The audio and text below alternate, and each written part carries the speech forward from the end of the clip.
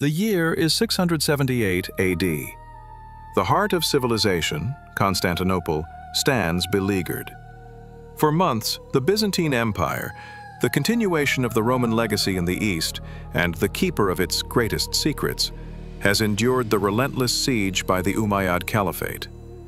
History, in its neat, simplified chapters, tells us this was a clash of titans, a strategic masterpiece where superior fortifications, the legendary Theodosian walls, and a massive defensive chain across the Golden Horn proved to be the decisive factors. The conventional narrative is a fortress built on dry facts. Emperor Constantine IV's tenacity, the logistic nightmare for the invaders, the sheer unyielding strength of stone against steel. This is the comfort of accepted history. It allows us to process the fall and rise of empires through quantifiable military power. We are taught that the outcome was inevitable, a victory of Byzantine resilience against Arab expansion. But this narrative is incomplete. It's too clean, too easily explained. The historical record is a decoy. It distracts us from the one definitive element that should have been impossible to create.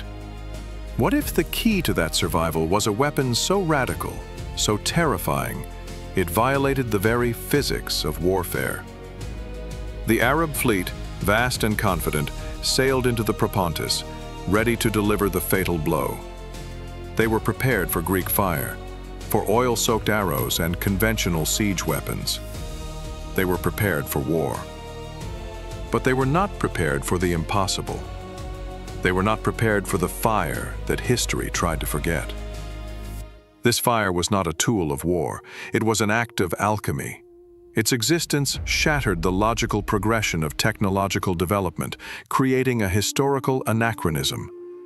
For a brief, crucial period, the Byzantines possessed a secret that made their small fleet invincible.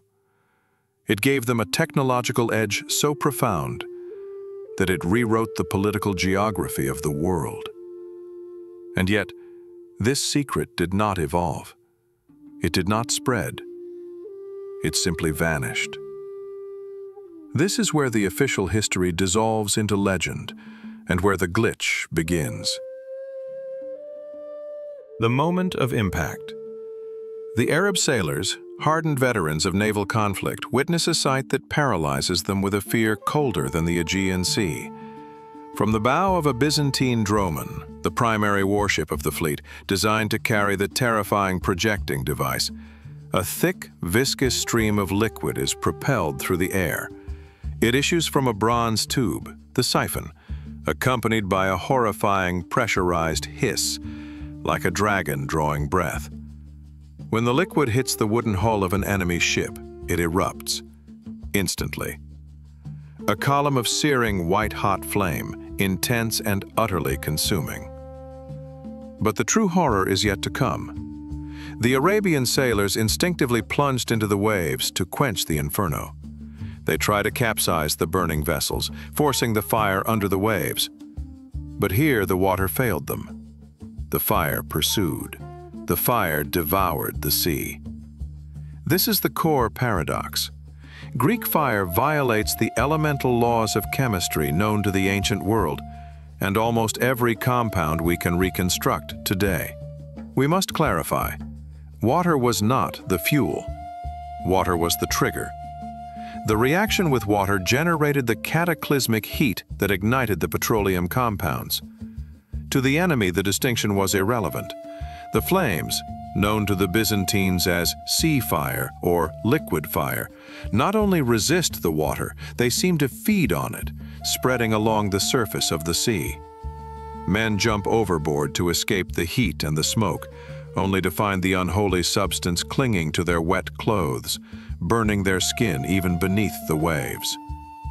We are forced to ask, what compound possesses such a terrifying property that could have been available in the 7th century AD?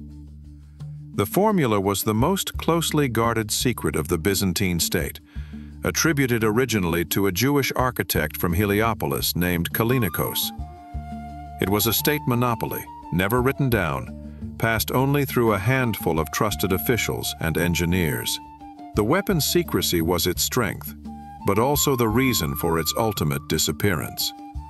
Its existence is the glitch in our linear understanding of scientific history. Since its use faded in the 13th century, scholars have desperately attempted to recreate the glitch. The pursuit has created a dizzying array of competing hypotheses, each seeking to explain the water-resistant inferno. Hypothesis A, crude napalm.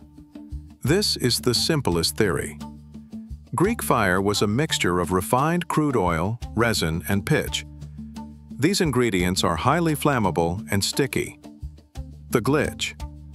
While this would be hard to extinguish, water would still eventually quench it. It does not fully explain the accounts of the fire actively feeding on water. The logic is too weak for the terror described. Hypothesis B. Quicklime, calcium oxide the strongest contender.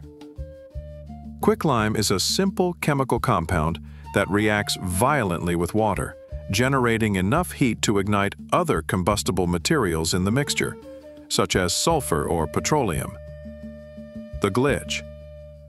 The reaction creates steam and heat, but quicklime alone is not enough to maintain a sustained, spreading blaze on the water's surface, especially when projected from a pressurized siphon.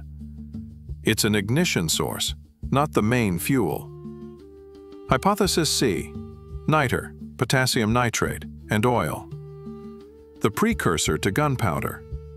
Niter contains its own oxidizer, allowing it to burn fiercely even with limited access to atmospheric oxygen.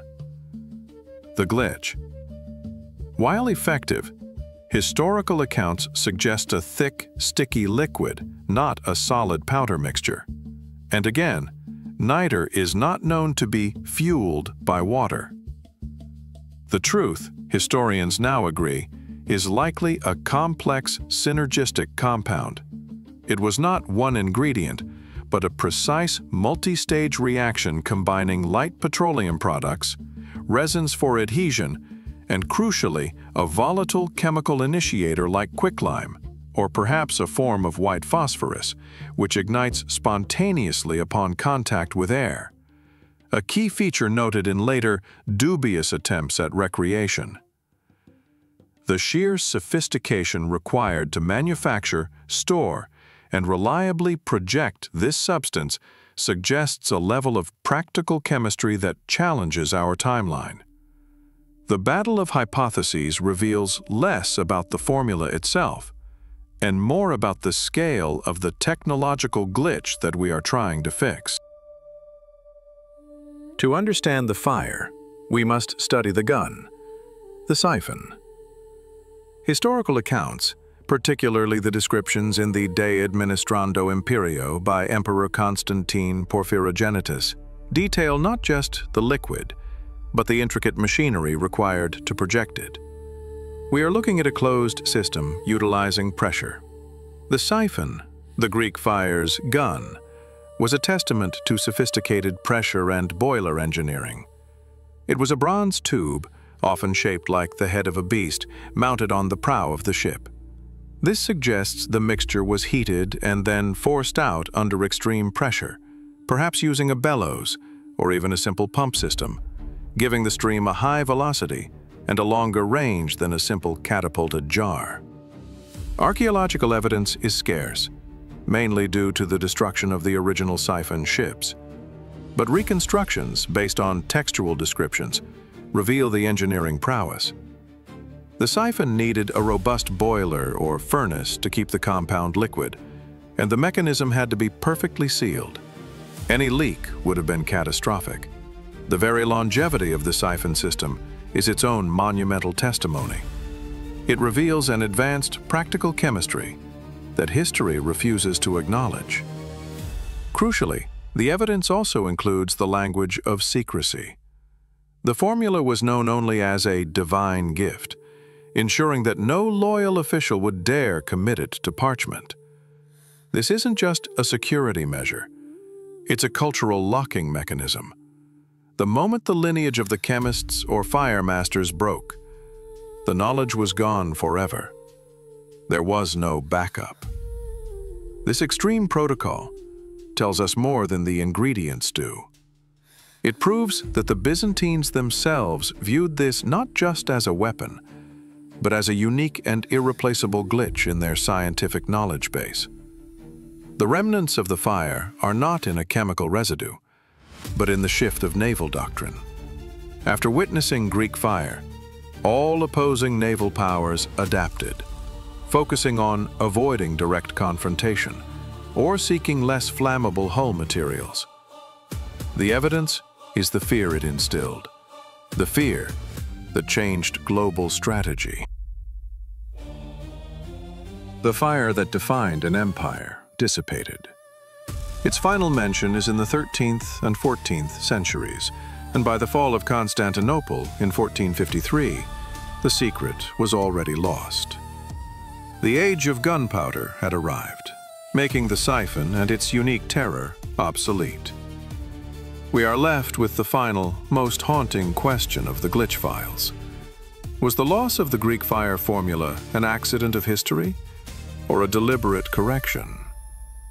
The accident argument is logical. The collapse of the Byzantine Empire's central authority, the fracturing of knowledge, and the inevitable death of the last person who knew the secret. But the correction argument is more fascinating. Why did no other society ever rediscover this formula, despite the global spread of knowledge following the Renaissance? Was the raw material so rare, or the process so complex that it truly required the unique conditions and chemical insight of the Byzantine workshops? Or does the loss suggest a deeper, protective layer of history? A self-correcting mechanism that erased technology deemed too dangerous, too powerful, or too ahead of its time. Greek fire saved Constantinople, but its legacy is its absence. It remains a historical scar, a point where the scientific progression timeline briefly bent, allowing a technology from the future to appear in the past, before it was violently pulled back. We can reconstruct the warship. We can analyze the politics, but the core chemical identity of the flame remains elusive. The formula is gone.